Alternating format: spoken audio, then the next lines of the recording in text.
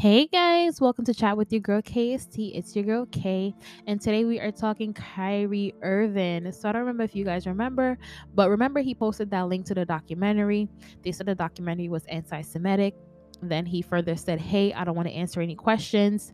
They later called him anti Semitic and told him that in order for him to return to his playing his game, he had to return to play on his team, he had to not only apologize but con- condemn the documentary. Well, this is what Kyrie Irving had to say.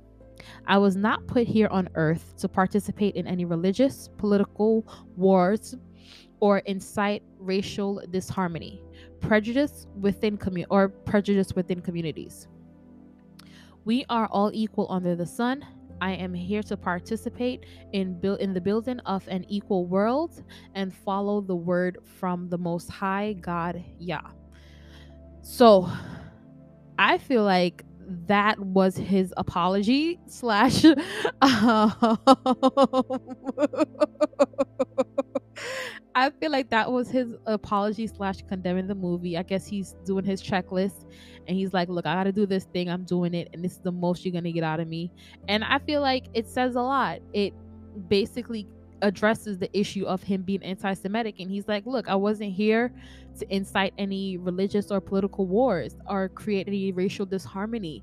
So I feel like that addresses the whole anti-Semitic thing. It may not have been like a "I'm sorry" and like kissing their asses, but it's more of "Hey, like, what's up?"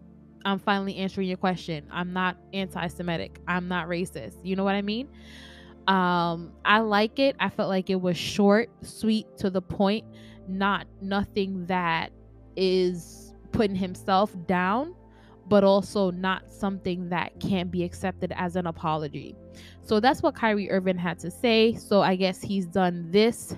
Hopefully, he's done all the other things because we would love for that man to return to playing his basketball game like this whole thing never happened. Good luck to you, Kyrie Irving, and I will talk to you guys next time. Bye.